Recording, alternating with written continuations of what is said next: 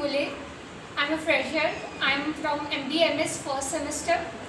As a new student, I found this college very amusing. There are a lot of activities going on. The faculties that are provided for us are quite experienced. They provide us with many of the practical life situations to solve upon. So we can say, I can say that it is a theoretical as well as practical approach here for learning. Talking about the infrastructure, it is quite good. The furniture, the washrooms are quite well maintained. The library that we are provided contains all the books that are necessary for all the students from all the courses. Apart from that, many of the co-curricular activities are also present.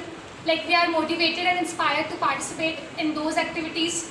So I would like to recommend this college for all those who are in 12th aspiring to join a five-year dynamic course with some of very special characteristics about it. Thank you.